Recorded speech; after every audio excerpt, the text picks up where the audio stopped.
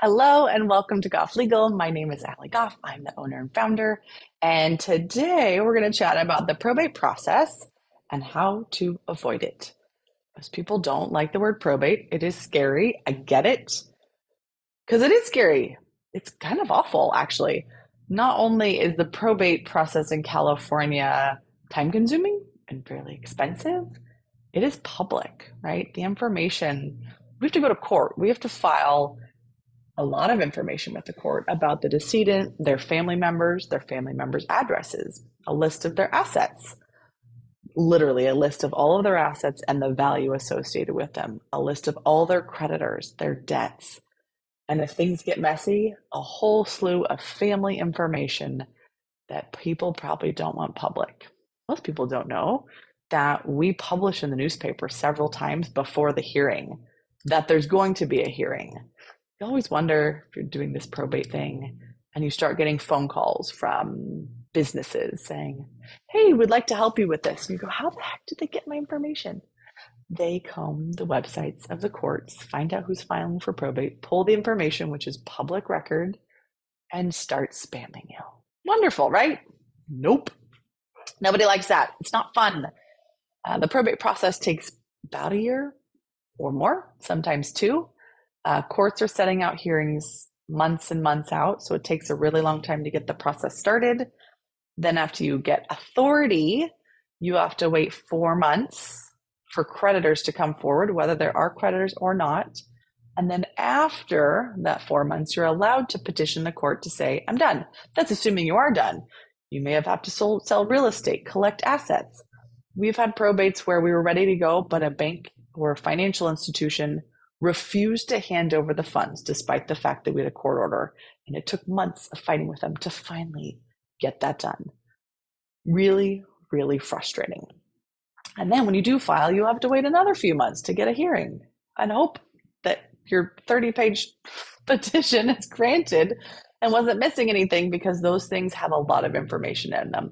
You also hope that nobody's contesting it. And you also had to provide an accounting of every single transaction that was done during your time as administrator or executor from the beginning to the end publicly. The entire world, if they wanted, could see that information. Most people don't care. Uh, most people don't want their public that information to be in the public essentially forever. So that's the probate process. How do we avoid it? So first is have a joint owner on your accounts. Easy. You are married, you own an account together, you die, goes to your spouse, vice versa. Easy peasy. Now, let's say you have a trust. The best way to avoid probate and to make sure that your money makes it to your actual beneficiaries when you're both gone, let's assume you're married, is to put that bank account into your trust. Very important.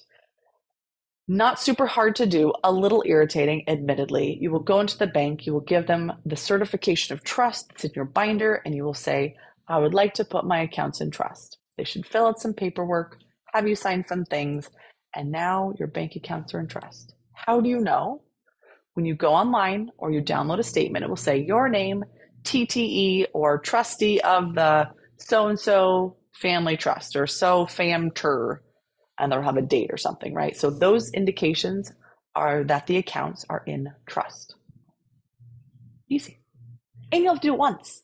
Once you put your account in trust, you don't have to go back and do it again, right?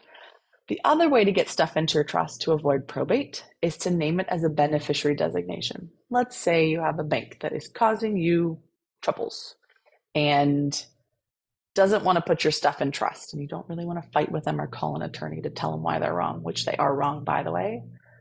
One way to avoid the big old fight is to name the trust as the beneficiary of that account. So it'll go to the joint owner or whoever the owner is on there during their life. And after they're both gone, then it will pass over to the trust. That avoids probate. And our trusts mostly don't go through probate. So we've therefore avoided probate for that particular account. Real estate. This one's fun and pretty easy for us to do. You need to retitle the house from your name as an individual into your name as trustee of your trust. You've hired my office to do your estate plan, we have done that for you already. If you went online and got your trust done, They did not do that for you. You need to go and get your trust name put on your deed. Otherwise, it's not in trust, and that house will go through probate, right? Back into that system that we're trying to avoid. Businesses. If you have a business and it's worth a significant amount of money, meaning closer to over $180,000, contact your business attorney and make sure that they know you have a trust and that you want your shares to be assigned or reassigned or issued stocks in the name of the trust or if you have an LLC or membership interest would be assigned to the trust.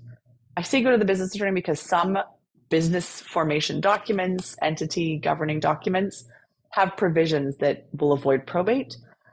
But I will tell you right now, if you look at your documents and it says on so and so's death, the money goes to their, and if you see the word estate, that is probate.